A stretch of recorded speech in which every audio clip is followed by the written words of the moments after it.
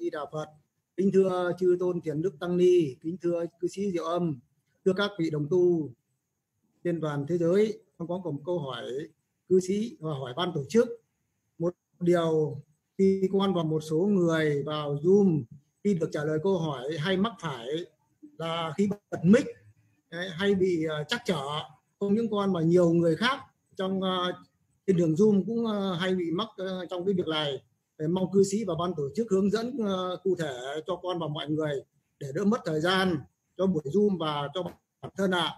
điều thứ hai là thứ hai là trong ờ, là phật tử tại gia đã thọ bồ tát giới có lên đắp y không và đắp khi đào ạ à. nam mô a di đà phật con xin tri ân uh, thưa sĩ uh, hiệu âm a di đà phật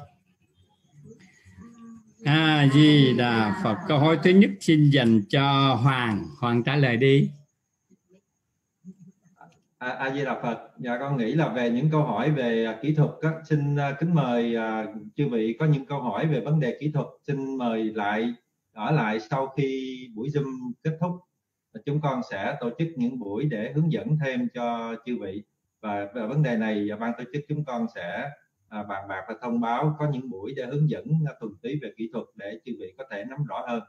Và sau đây câu hỏi uh, thứ hai xin con chúng con xin uh, cùng tỉnh dạ a di người phật tử tại gia thọ bồ tát giới có được đắp y không?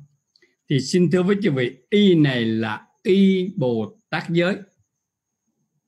Chứ đừng có nói là thọ bồ tát giới thì đắp y của sa di hay là đắp y của cụ túc giới thì không được ở Việt Nam chúng ta hình như là không có cái y Bồ Tát giới, nhưng ở các đạo tràng bên Trung Quốc có cái y của Bồ Tát giới.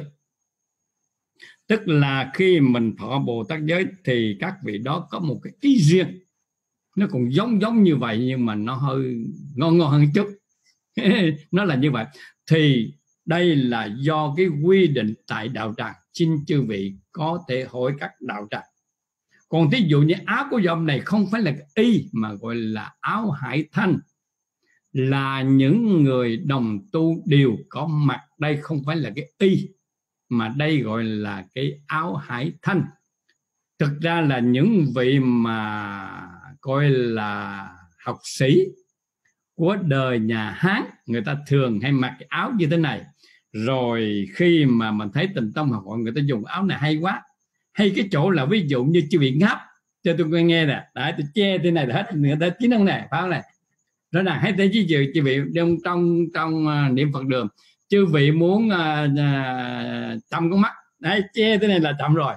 Hay cái, cái tay này hay lắm. Một điểm nữa là cái áo này hay vô cùng. Khi chư vị ngồi xuống xếp bằng đại thì tất cả áo này nó bao kín hết. Không ló ra cái nào cả. Nếu mà có lo gì nữa thì hai cái cánh tay này nó che lại cũng kín, cho nên rất là kín đáo. Thì đây là có một loại áo rất là hay. Cho nên trả lời cho vị là người phật tử tại gia được quyền đắp y, nhưng mà phải tùy theo cái đạo tràng chư vị tu là có y bồ tát giới cho chư vị đắp hay không. Chứ chư vị ở đó đạo tràng không có y mà chư vị đặt ra cái y như vậy thì cũng hơi là lạ lùng. Mong chư vị cứ tùy theo cái quy định của đạo tràng mà chúng ta làm là được vậy a di đà phật. Nam mô a di đà phật. Chúng con thành tâm tri ân lão cư sĩ. Và tiếp theo